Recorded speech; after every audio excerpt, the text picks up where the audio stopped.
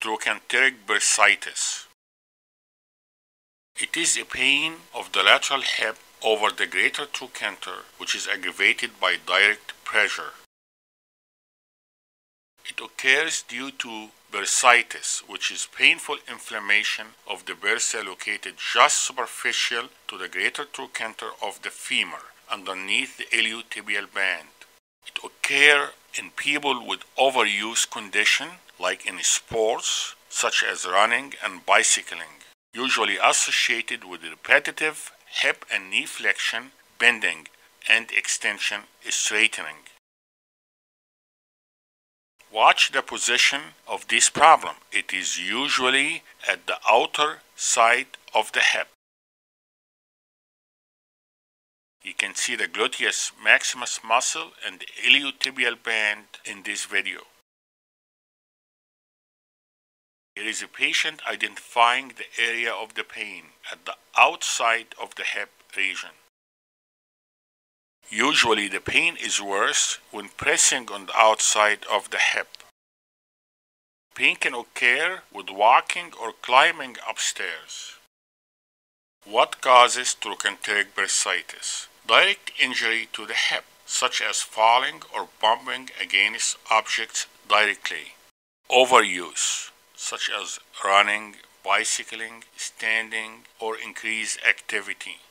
Medical conditions such as gout and rheumatoid arthritis. Differential diagnosis of trochanteric bursitis, piriformis syndrome. The pain is slightly posteriorly. This condition is caused by repetitive motion leading to pain in the buttock, often causing tingling numbness that runs down the leg. The sciatic nerve is usually pinched by a piriformis muscle, producing the sensation of pain and tingling and numbness in the leg.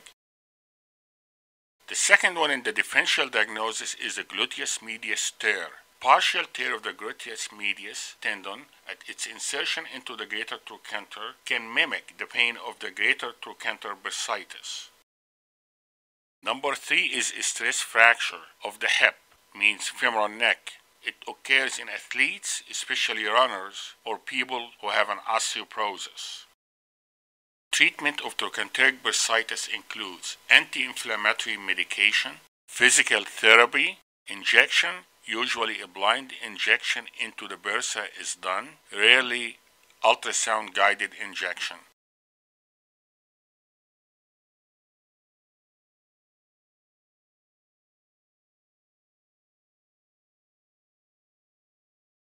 Surgery when conservative treatment fails. The surgery is usually for bursectomy. Make sure you don't have a piriformis syndrome because you can always do the surgery for piriformis syndrome when you excise the bursa.